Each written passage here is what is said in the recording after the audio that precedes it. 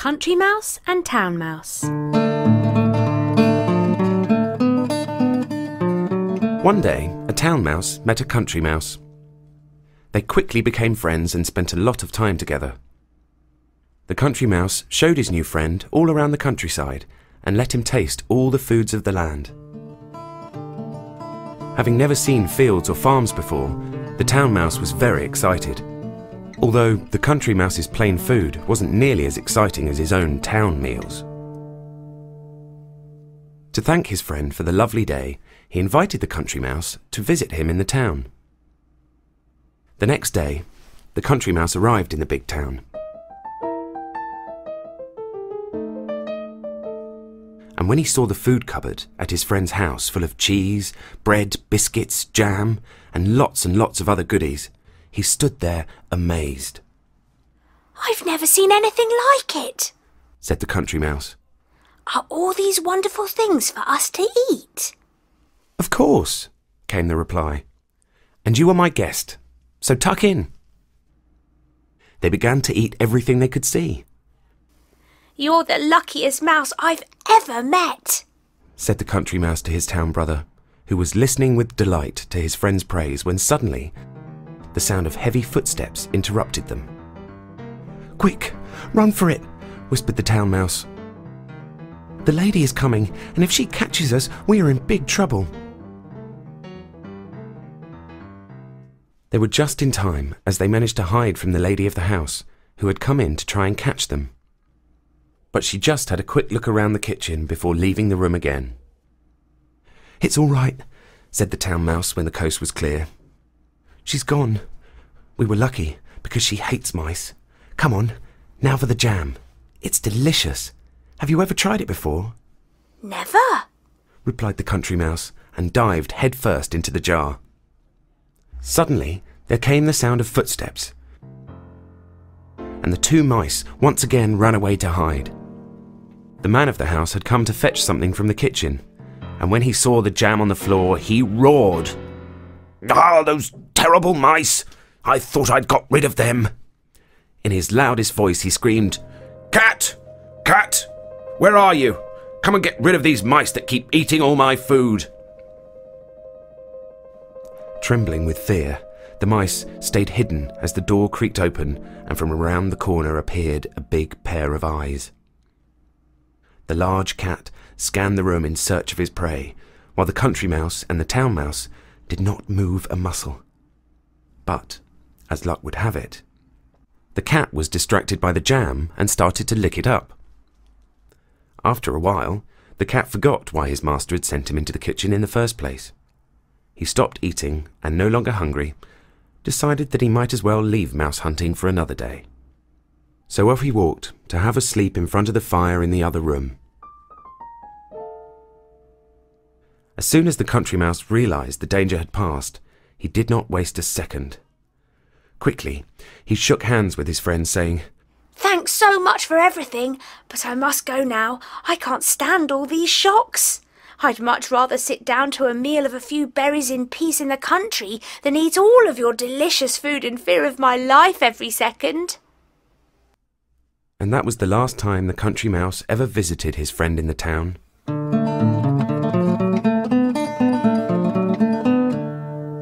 The end.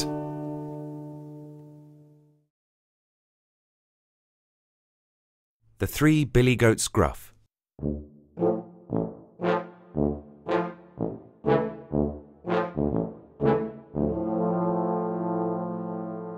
Once upon a time, there were three billy goats whose name was Gruff. They all lived on a hill, but there wasn't much food to eat, and they were always very hungry. One day, they decided to go and live on a hill on the other side of the valley, which was always full of grass. There, they could eat as much as they wanted and make themselves fat and healthy.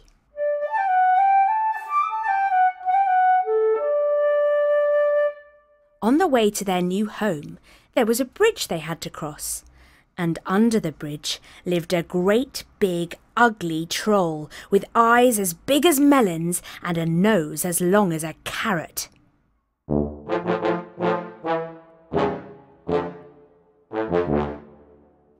First to approach the bridge was the youngest billy goat Gruff. Trip, trap, trip, trap, trip, trap, went his hooves as he walked over the bridge. Who's that tripping over my bridge? roared the troll. Oh, it's only me, the tiniest billy goat Gruff. And where are you going? asked the troll. I'm going to the hill on the other side of the valley to eat lots and lots of grass, said the billy goat with such a small voice. Oh, no, you're not, said the troll. I'm coming to gobble you up. Please don't eat me. I'm too little, said the billy goat. If you wait until my brother comes, I'm sure you'll be happier. He's bigger than me and much more tasty. The troll thought about this for a second before saying, All right. Well, be off with you then. And the smallest little billy goat trotted off over the bridge and onto the new hill.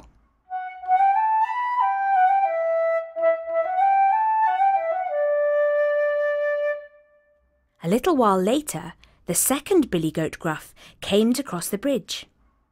Trip trap, trip trap, trip trap, went his hooves on the bridge. Who's that tripping over my bridge?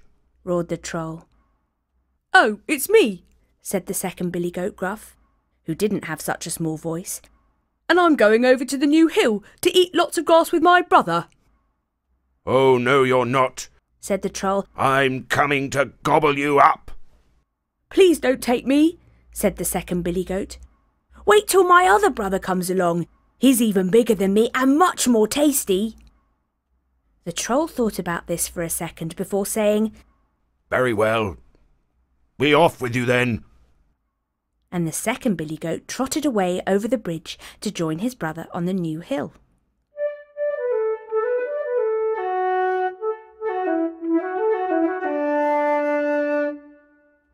After a few more minutes, the biggest billy goat Gruff approached the bridge. Trip trap, trip trap, trip trap, went the bridge. But the biggest billy goat was so heavy that the bridge creaked and groaned under him. Who's that tramping over my bridge? roared the troll. It is I, the biggest billy goat Gruff, said the billy goat. Then I am coming to gobble you up. Well, Come along then, said the biggest billy goat, not scared of the nasty troll. The troll started to walk closer to the billy goat. And just as he was about to reach him, the biggest billy goat lowered his head and charged at the troll.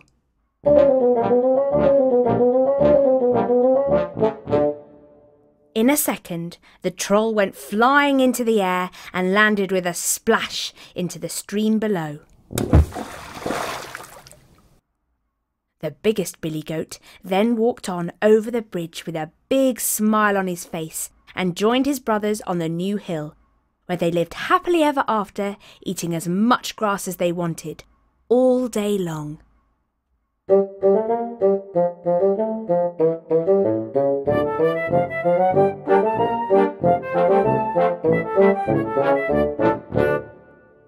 end. The Three Little Pigs.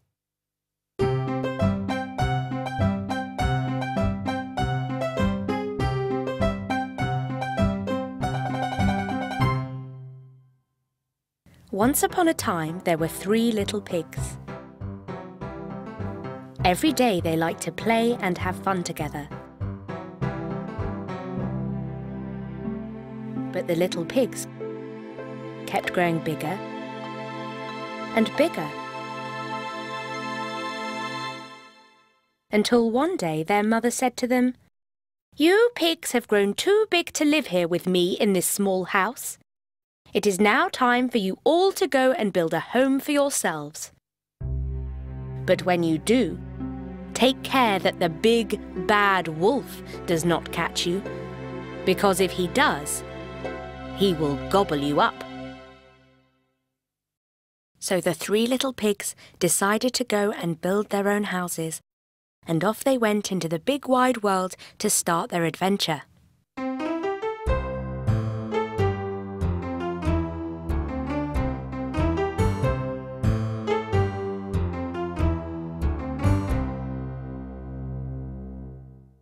The three little pigs walked along a road until they met a man who was carrying some straw.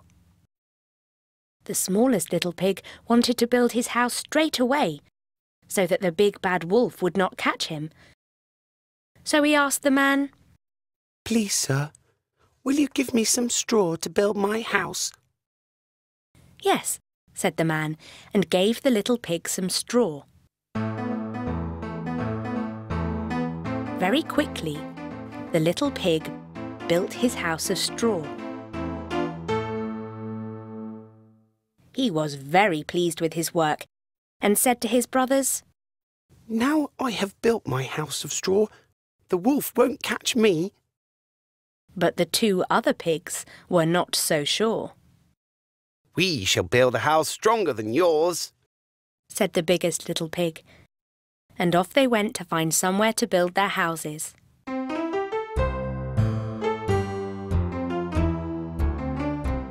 The two little pigs walked further along the road until soon they met a man who was carrying some sticks. The middle-sized pig also wanted to build his house quickly, so that the big bad wolf would not catch him, and said to the man, Please, sir, will you give me some sticks to build my house? Yes, said the man, and gave the little pig some sticks. Quickly, the middle-sized little pig built his house of sticks.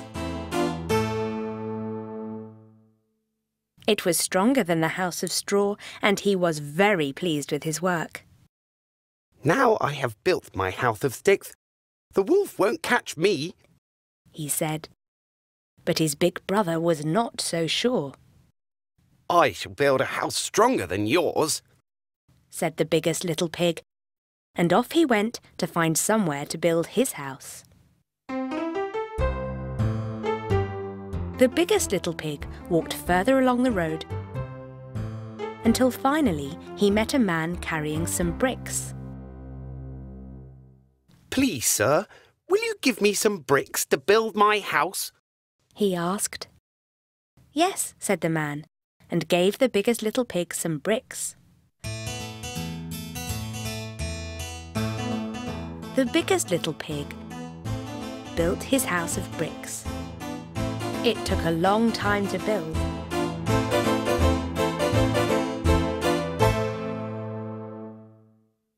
But when it was finished, it was stronger than the house of straw and stronger than the house of sticks. The biggest little pig was very pleased with his work and thought to himself, Now I have built my house of bricks. The big bad wolf won't catch me. The next day, the wolf was walking along the road and saw the smallest little pig's house that was built of straw. When the little pig saw the wolf coming, he remembered what his mother told him and ran inside his house, shutting the door behind him. The wolf knocked on the door and said, Little pig, little pig, let me come in. No, no, no, not by the hair on my chinny chin chin. Then I'll huff, and I'll puff, and I'll blow your house in. So he huffed, and he puffed, and the house of straw fell down. The smallest little pig was very scared and quickly ran away to his brother's house made of sticks.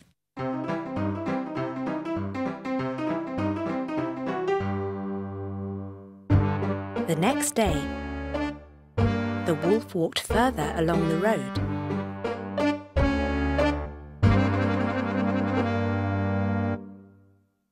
After a while, he came to the middle-sized pig's house that was built of sticks. When the little pig saw the wolf coming, he also remembered what his mother had told him and ran inside the house with his brother, shutting the door behind them. The wolf knocked on the door and said, Little pig, little pig, let me come in. No, no, no, said the little pig. not by the hair on my chinny chin chin. Then I'll huff, and I'll puff, and I'll blow your house in. So he huffed, and he puffed, and the house of sticks fell down. The two little pigs were very scared and ran away as quickly as they could to get to their big brother's house made of bricks.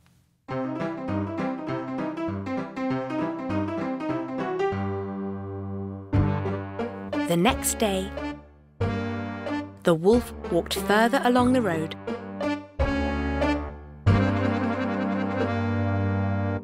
Until he came to the biggest little pig's house that was built of bricks.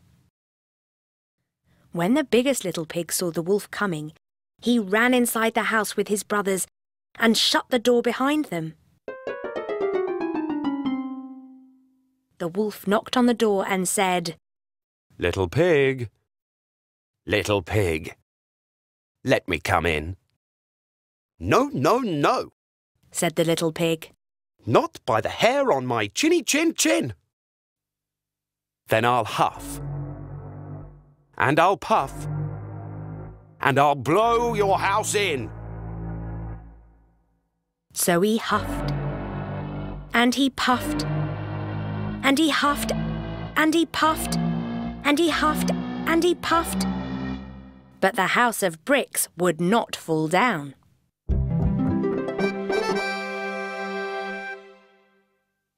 Out of breath, the wolf ran to the front of the house and knocked on the door again. Little pigs, little pigs, please can I come in? I am only very small and won't take up much room. But the little pigs were not fooled by his act and said, You are the big bad wolf, and you want to gobble us up, so you cannot come in. The wolf was very angry and thought to himself, This is a clever little pig. If I want to catch him and his brothers, I will have to wait until they come outside, and then I will gobble them all up. So the big bad wolf sat under a tree by the house and started to wait.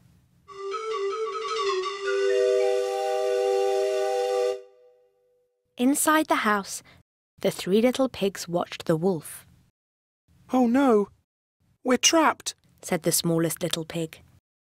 And when we go outside, the big bad wolf will catch us and gobble us up. said his bigger brother. But the biggest little pig looked at his brothers and smiled. Don't worry, I have a plan. He went over to the fireplace and put a big pot of water onto the fire.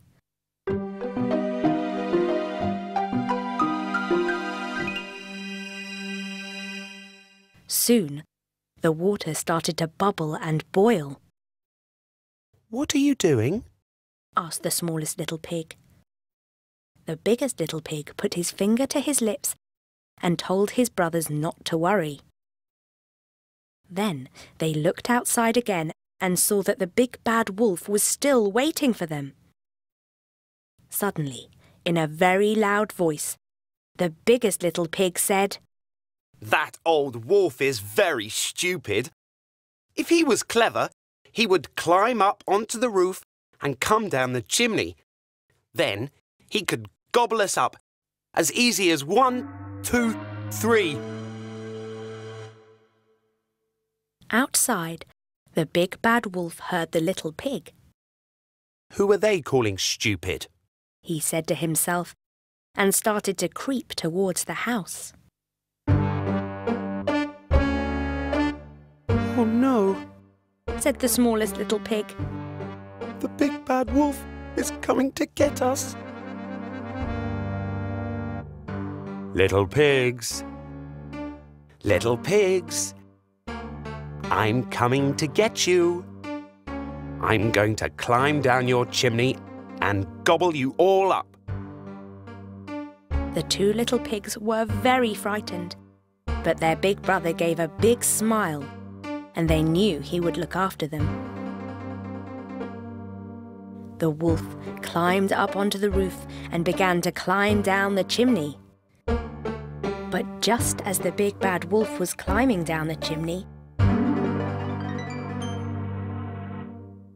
the biggest little pig took the lid off the pot and the wolf fell straight into the boiling water with a big splash. Quickly, the biggest little pig put the lid back onto the pot, and that was the end of the big bad wolf.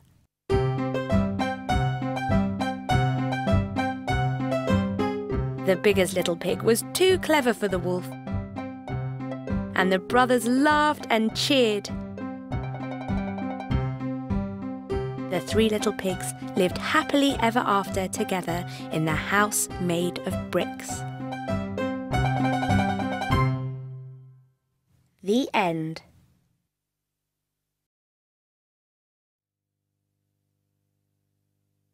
The Gingerbread Man. Once upon a time, there was an old woman and her husband who lived alone in a little house in the forest. The couple had no children, and sometimes this made the old woman feel lonely. So one day, she decided to make a boy out of gingerbread. She carefully mixed the batter, rolled the dough, and cut out a very nice gingerbread man. She added sugar icing for his hair, mouth, and clothes, and used chocolate chips for buttons and eyes.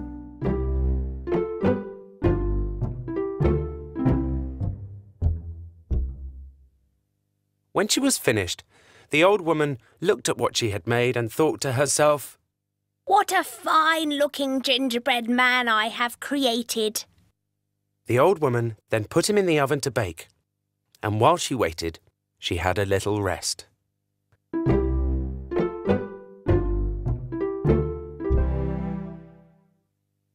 After not too long, he was ready. Slowly, she opened the oven door to see what he looked like when suddenly, up jumped the gingerbread man, and in an instant he was off. With great speed, he ran out the house, saying, Run, run as fast as you can. You can't catch me. I'm the gingerbread man. The old man and woman ran after him as quickly as they could, but he was too fast for them, and they could not catch him. And so the gingerbread man ran and ran until very soon he was a long way away from the little house.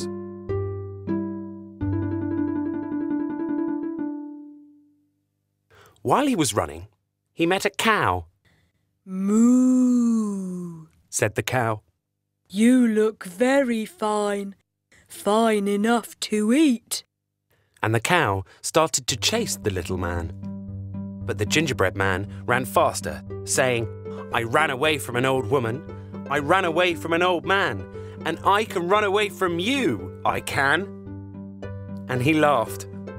Run, run as fast as you can. You can't catch me. I'm the gingerbread man. The cow ran after the gingerbread man, but she could not catch him.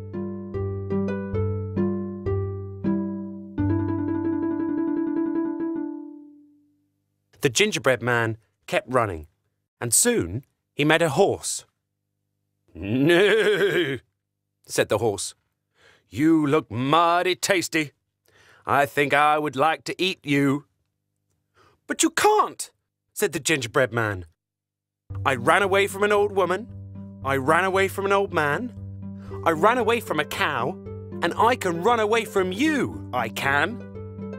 And so he ran away singing. Run, run as fast as you can. You can't catch me. I'm the gingerbread man. The horse ran after the gingerbread man, but he could not catch him. The gingerbread man ran and ran, laughing and singing. While he ran, he met a chicken. Cluck, cluck, said the chicken. You look fine enough to peck for dinner. I'm going to eat you, Mr. Gingerbread Man. But the gingerbread man just laughed. I ran away from an old woman. I ran away from an old man. I ran away from a cow. I ran away from a horse. And I can run away from you, I can. And so he ran away singing. Run, run as fast as you can. You can't catch me. I'm the gingerbread man. The chicken ran after the gingerbread man but she could not catch him.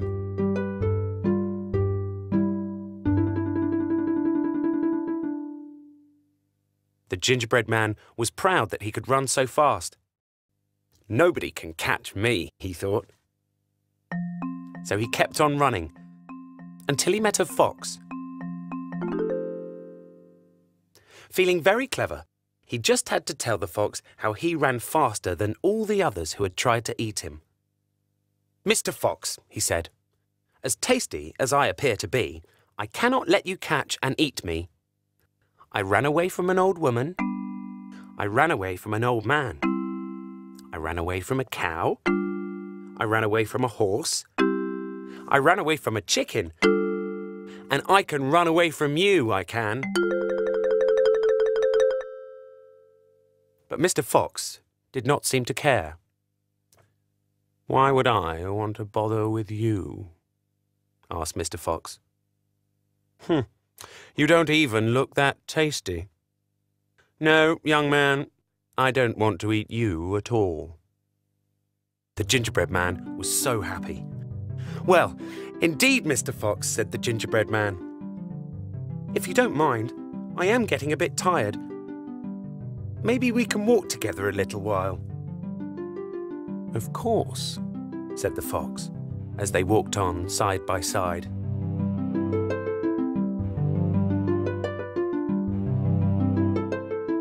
Soon, they came to a river. Oh no! How do I cross the river? asked the gingerbread man.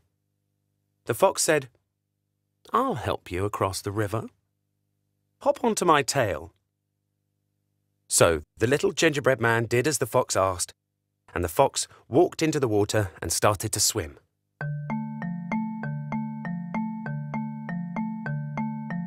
After a short while, the fox said, You are too heavy. Hop onto my back. So the little gingerbread man did as the fox asked, and he swam a bit further. But a few minutes later, the fox said, You are too heavy for my back. Jump onto my nose. So the little gingerbread man did as the fox asked.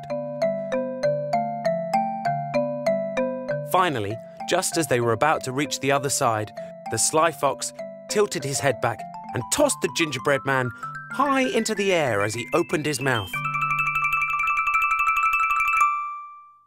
Snap! Yum, yum, thought the fox. He was very tasty after all. And that was the end of the gingerbread man.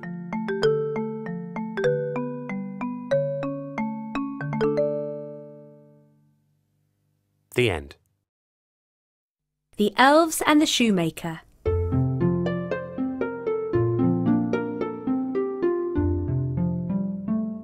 Once upon a time, there was a shoemaker who, through no fault of his own, had become so poor he only had enough leather to make one last pair of shoes.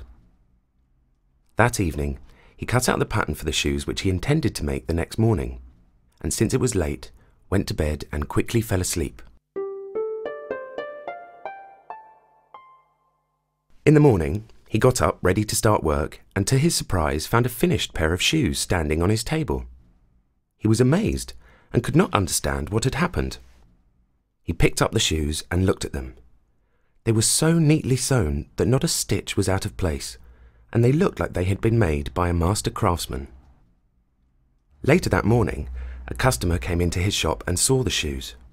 He thought they were so nice he paid more than the normal price for them, and this meant the shoemaker was able to buy leather for two more pairs of shoes with the extra money he got.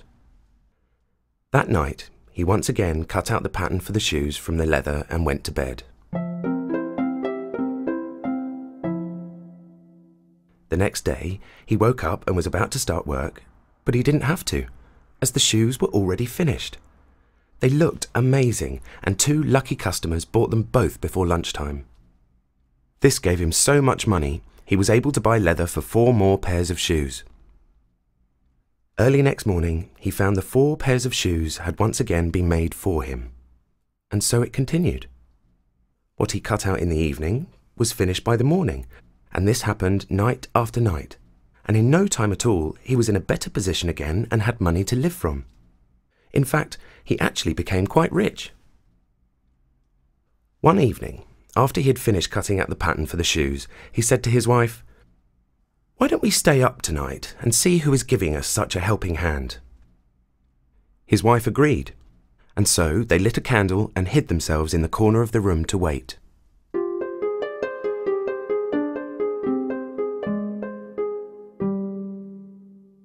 At midnight, two little men with no clothes appeared and sat down at the shoemaker's table. They picked up the cut-out leather and began with their tiny fingers to stitch, sew, and hammer so neatly and quickly that the shoemaker could not believe his eyes. They did not stop until everything was finished, and as soon as it was all done, they quickly ran away. The next day, his wife said, The little men have made us rich, and we should show our gratitude. They run about with nothing on and must freeze with cold. I will make them little shirts, coats, and trousers, and will even knit them some socks, and you can make them each a little pair of shoes. The husband agreed, and that evening, when they had everything ready, they laid out the presents on the table and hid themselves to see how the little men would react. At midnight, they came skipping in and were about to start work, but instead of the cut-out leather, they found the charming little clothes. At first, they were surprised, then very happy. With great speed, they put them on, singing, Now we're dressed so fine and neat, why cobble more for others' feet? Then they hopped and danced about and leaped over chairs and tables and out of the door. The little men never came back again, but the shoemaker continued to be a success for the rest of his life and had good luck in everything he did, all thanks to the two little elves.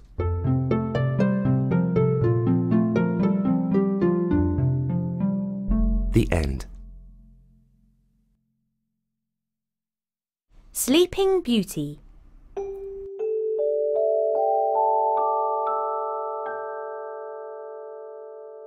Once upon a time, there was a king and queen who lived in a beautiful palace. They had everything you could wish for, except one thing a child. And this made them very sad. But finally, after many years, they had their wish, and a little baby daughter was born. To celebrate, preparations were made for a party, and amongst the most important guests were seven fairies who were to be godmothers to the baby princess.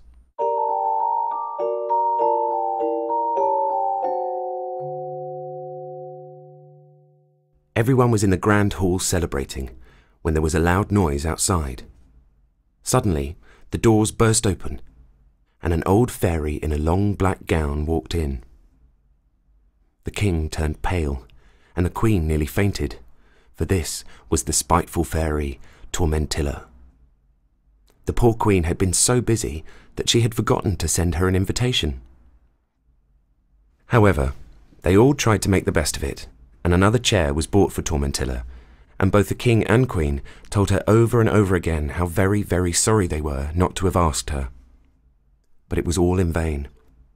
Nothing could please her, and she sat scowling at the other fairies until the feast was over and it was time to give the presents. Everyone went into the great living room where the fairies each gave the little princess their presents.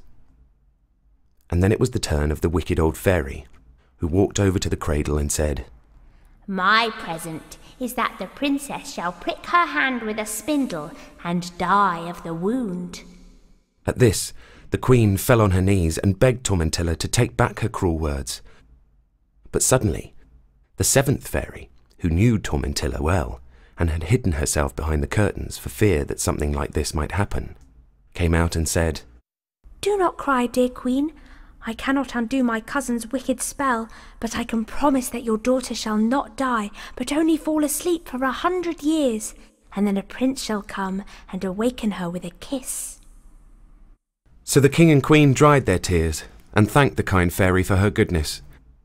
And all the fairies went back to their homes, and things went on much as usual in the palace. But you can imagine how careful the queen was of her little girl, and the king made a law that every spindle in the country must be destroyed. The years went by happily enough until Princess Miranda was almost 18 years old. One day, the king and queen had to go away, and as the princess did not wish to go, they left her behind. Quickly, she became bored, and to pass the time began exploring all the old rooms in the palace. After much searching, she finally found herself at the top of a tower, in front of a door she had never seen before. When she opened the door, she saw a small room where a little old woman sat with a high white cap at a spinning wheel. She watched the old woman curiously and could not imagine what she was doing, as the princess had never seen a spinning wheel in her life, because the king had ordered them all to be destroyed. Now, the poor old woman who lived in this tower had never heard the king's order because she was deaf and could not hear anything. What pretty work you're doing! Tell me, why does the wheel go whir, whir, whir? said the princess. But the old woman didn't answer because, of course, she could not hear. So the princess stepped into the room and put her hand on the old woman's shoulder, who looked up and rubbed her eyes. Deary, deary me. She cried. And who may you be, my pretty darling? I'm the Princess Miranda, said the maiden. But the old woman only shook her head, as she could not hear anything. Then the princess pointed to the spindle and made the old woman understand that she wanted to try. So the old woman nodded, and the princess sat down and took the spindle in her hand. But no sooner did she touch it than she pricked her hand with the point and sank down into a deep sleep.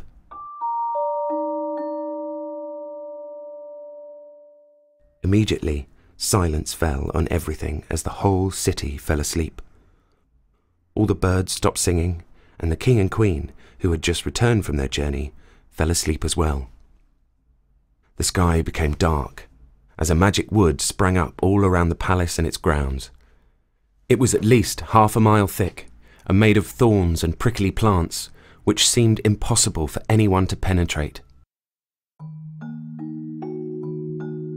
And so the years went on and on and on until a hundred years had passed and the palace and the story of it were all but forgotten. Until one day, a king's son from a neighbouring country came riding that way. Suddenly, he found himself in a part of the country where he had never been before and quickly became lost.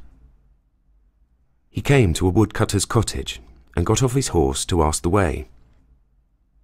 An old man lived in the hut, and after he had directed the prince as to the best way back, the young man pointed to a thick wood ahead and asked what was beyond it. The old man told him there was a legend that beyond the wood was an enchanted palace where a beautiful princess had been sleeping for a hundred years and would awaken when she was kissed by a prince. As soon as the prince heard this, nothing would stop him, and he decided he must go there and see for himself if the tale were true.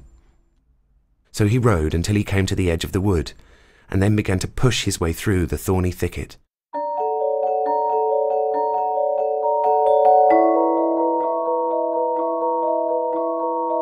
Until at last he came to the palace, where he saw everyone sleeping. The prince walked on until he came to the narrow staircase which led to the tower in which the princess was asleep. He opened the door and saw the princess. Falling on his knees, he bent down to kiss her cheek, and as he kissed her, she opened her eyes and said, Oh, Prince, have you come at last? I have had such pleasant dreams. And at the same time, the whole palace was awake. Everything went on exactly as though the spell had lasted only a hundred seconds, not a hundred years. And I probably don't need to tell you that the prince and princess were married amid great celebrations and lived happily ever after.